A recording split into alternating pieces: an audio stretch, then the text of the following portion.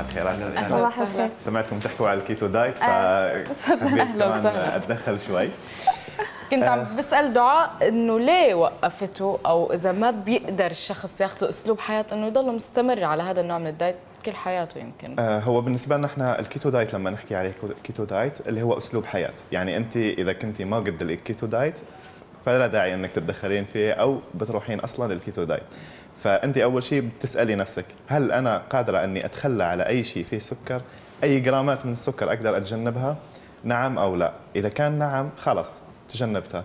إذا كان لا بلا هال keto diet. في اللي هي ال low carb diet في هي ال high protein diet ال low fat carb. يعني كل واحد آه، من الأنواع ال diet الثانية ممكن أستغلهم.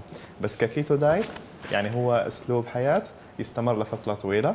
ليش؟ لأنه راح يستغل الدهون اللي مخزنة في الجسم. طب. دكتور هلا آه، خلينا نقول إنه بما إنه مرتفع بالدهون. ما هذا الشيء ممكن يضر آه، خلينا نقول الكلى أو الكبد أو؟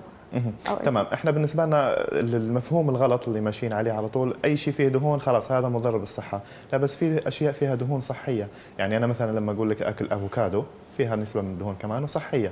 لما أحكي على السلمون مثلا أو سمك السلمون لو أخذت كل أسبوع آه، مرتين ثلاث مرات من سمك السلمون بالعكس هي صحة للمناعة صحة القلب الشرايين الدماغ كمان كل شيء يعني ضا- ضامن ليه. يعني أنا بحكي على الدهون الصحيه فهو النظام هذا بيحاول إنه بيرفع نسبة 70 إلى 75% من الدهون. يعني بس أنا بحكي الدهون الصحية مش إنه نروح مثلا نطلب برجرات على أكيد أكيد يعني أدخال. دهون على دهون بس تكون دهون صحية بالضبط عبد الرؤوف أحيانا في بنلاحظ إنه في ناس تتجه اتجاه خاطئ. آه، مثلا ما طبقت هذا النظام ب- ب- يعني بحذافيره بطريقة صحيحة. شو تبعات هذا ال- ال- ال- ال keto diet أو ال أو ال أو النظام ال- الآثار السلبية يمكن. المظاهر؟ السلبية. تمام. يعني أنا مثل ما حكيت لك إنه ال keto diet إذا كنت ما قده فما تتخلى لأنك آه، ممكن من ما تنزل في الوزن أو يثبت وزنك أو ممكن تزيد مرة ثانية. آه، مشكلة ال keto diet لأنه no carb أو ما فيه carb أصلا أو low carb يعني اثنيناتهم إحنا آه، 5% على الكربوهيدرات يعني في اليوم. آه، مش بالشيء كثير يعني نحكي على 90 إلى 200 سعرة ناخذها بس من ال carbs. فأنت لما تنزلها تلاقي معظم الفواكه إنك شلتها يعني تحافظ بس على الأشياء اللي مكتوب فيها berry يعني زي ال raspberry strawberry أي شيء فيه berry هاي هي الفواكه. ليش؟ لأنه تعتبر من الفواكه الأقل في الكربوهيدرات والسعرات كمان الحرارية تبعها. آه، مضارة أنه في الأول أو أول بدايتك للأسبوعين الأولين راح تفقد كثير من الأملاح خاصة البوتاسيوم والصوديوم وهي الأشياء في الجسم. فممكن يحصل بعض الجفاف إذا كنت ما تشرب المي بالكمية الكافية. هاي نقطة مهمة جدا. آه، في نقطة ثانية كمان أنه إحنا لما نتبع ال- keto diet النفس تبعك بتصير فيها ريحة كذا آه، مش طيبة يعني في الأول. آه، حتى تعدي تقريبا فترة ثلاث أسبوع ثلاث أسابيع منه بعدين يصير الجسم عادي ليش؟ هاي من الإفرازات ال ketone. ال ketone هذا يعني وين وين يستخرج أو إمتى يبتدي يشتغل؟ من وظائف الكبد بحد ذاته، يعني داخل الكبد بيدور على جلوكوز ما يحصله ما في كربوهيدرات من وين أحصله الأنسولين يعني هو في المستوى أو ال level تبعه العادي بس ما فيش جلوكوز عشان أوصله للدماغ عشان أوصله للدم فبروح أستغل الدهون اللي موجودة بحولها لكيتونات أو أحماض كيتونية وهنا يبتدي اللي هو توزيعها على الجسم ميزته فيها ميزة حلوة إنه إحساس بالشبع أو هرمون الليبتين بيكون آه، بسرعة بيروح للدماغ يعني بيقول إشارة عصبية سريعة إنه خلص شبعت. على عكس لما ناخذ اللي هي كمية سكريات عالية. آه، في نقطة كمان آه، إنه ممكن يرتفع أول شيء ال- الكيتون كمان في البول أو ال ال ال كمان نسبة الأسيتون كمان ترتفع شوي خاصة في الفترة الأولى من ال diet. بس إنه إحنا لما نستمر عليه فترة شهرين تمام نحاول إنه نغيره وتدريجيا مش نغيره مرة واحدة لأنك راح تزيد نعم. بعدها إذا غيرته مرة واحدة يمكن أنا لأن هيك عملت زاد وزني. طيب بس أنا عندي سؤال. في أشخاص مثلا بيقولوا لك دكتور نحن حابين نتبع ال keto diet قلت لهم لا ما بيصير. مهم. في صحيح. أشخاص آه، ممكن يكون آه، آثار ال keto diet عليهم كثير سلبية أو آه، طبيعة أجسام يمكن أو بيعانوا من مشاكل معينة. صحيح. أي واحد مثلا يعاني من الغدة أنا ما بنصحه إنه ما يتابع اللي هو ال keto diet كمان اللي عنده مشاكل خاصة في ال- الكبد لأنه المصدر الأساسي لإنتاج الكيتونات اللي هو راح يكون في الكبد. فأنت لما يكون عندك مشكلة في الكبد وتضيفي عليه النظام هذا راح تلخبطي كل المواضيع ويحصل اللي هو تسمم الكبدي أو شيء مثل. فهذه المرضى كمان نفس الشيء آه، نظام الكيتو دايت كمان على الأطفال ما ينفع خالص عندك كمان البنات خاصة اللي أقل من سن ال 18 ما ينفع عليهم كمان. ليش؟ لأنه هم في مرحلة البناء ويحتاجون كمان آه، الأستروجين والأشياء اللي هي الهرمونات الأنثوية كثير. فلازم يكون في نسبة من الكربوهيدرات موجودة في يومهم. يعني بالنسبة لك البنات الأقل من 18 سنة خاصة ما ينفع لهم كمان ال keto diet هذا. بالنسبة للرياضيين لازم يحاول يعمل تعديل عليه. لأنه آه، لما نحكي على no carbs أو zero carbs يعني راح نستغل كمان الجلايكوجين الموجود كمان في العضل يعني فيكون في هدم. هذا فأنت عشان ما تهدم ويكون تمرينك متوازن في أنواع معينة كمان من التمارين تسوينها.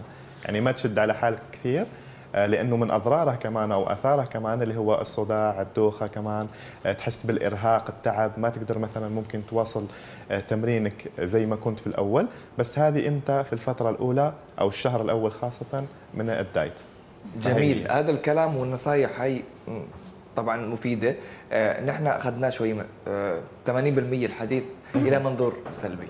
خلينا نروح نشوف ال- ال- الجانب الإيجابي. خلينا نشوف هل ممكن إنه نستفيد منه بسرعة أكبر؟ هل هل مزبوط. تعتقد إنه لجوء الناس له لأنه أسرع diet موجود أو أسرع حمية غذائية. وشو ممكن ينفعنا مثلا؟ أو قد إيه ممكن نستمر عليه؟ وكم ممكن آه، ينزلنا بالكيلوغرام؟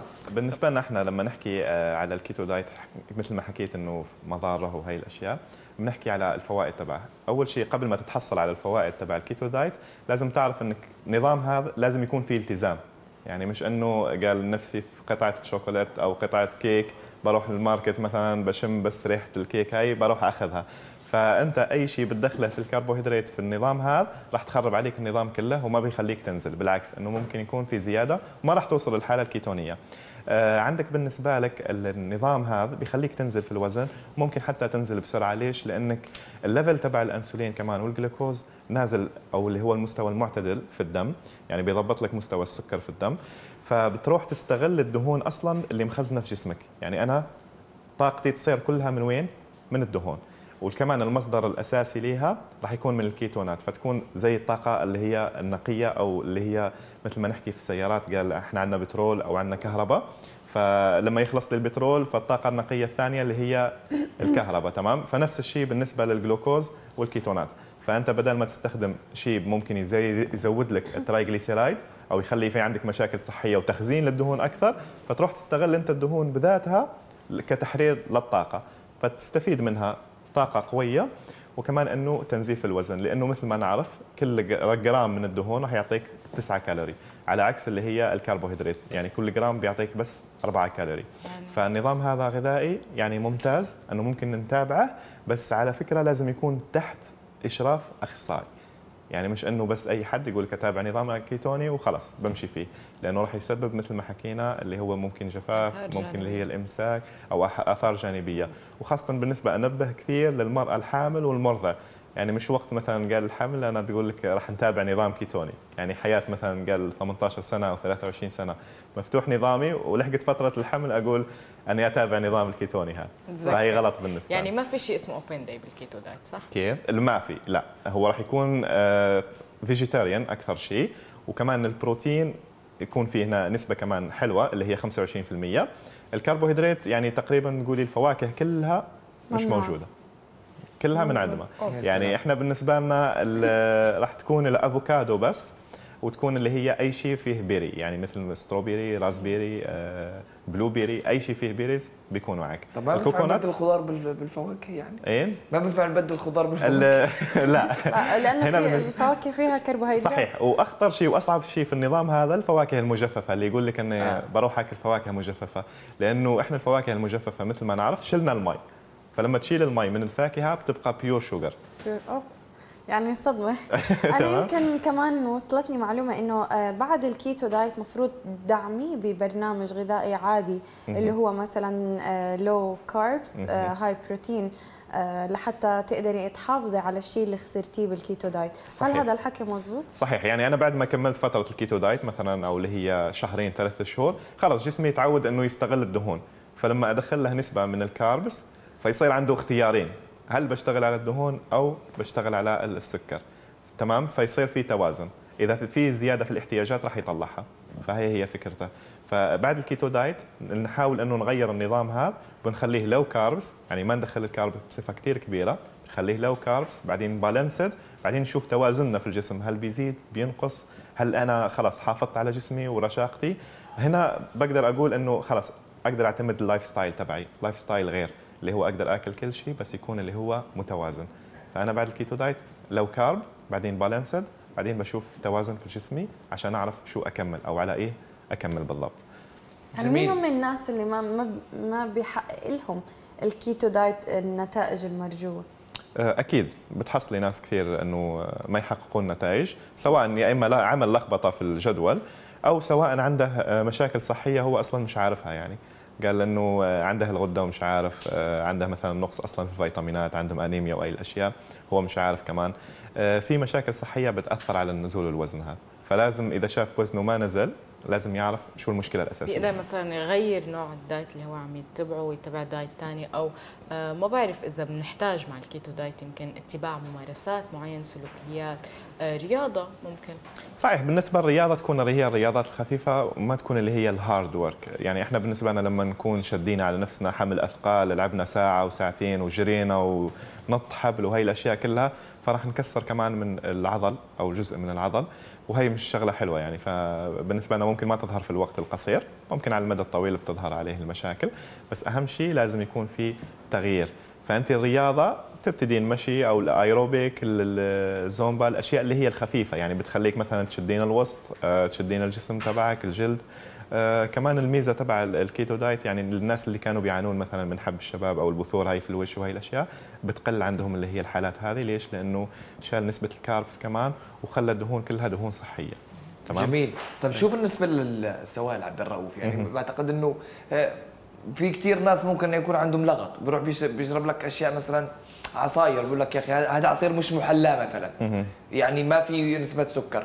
هون كيف بدي أعرف إنه هذا اللي بعمله أنا صح ولا غلط؟ بالنسبة للمشروبات يعني عندك أنت سواء ساخنة أو باردة. صحيح في ال keto diet عندك القهوة والشاي عندك كمان المي لازم يكون المي يعني على طول اليوم لأنه مثل ما حكيت إنه راح يرتفع اللي هو الأسيتون أو يرتفع الكيتون كمان في الدم أو في البول فأنت عشان تطلعه لأنه هذا كله في تخزين الكلى أو تصفية الكلى فأنت عشان تستغل الوضع وبتحسن الأشياء هذه فلازم تشرب مي كمية كافية. يعني عندنا المي القهوة الشاي وكمان ممكن العصاير اللي هو ال raspberry أو شيء مثل هاي بس إحنا مش بكميات عالية وبدون sugar تحاول إذا كان تحب قهوة محلاة بتستخدم اللي هو ال sugar اللي هو zero zero carbs أو ممكن تحصلها في ستيفيا أو اللي هي العناصر الطبيعية مثل ما نحكي عليها.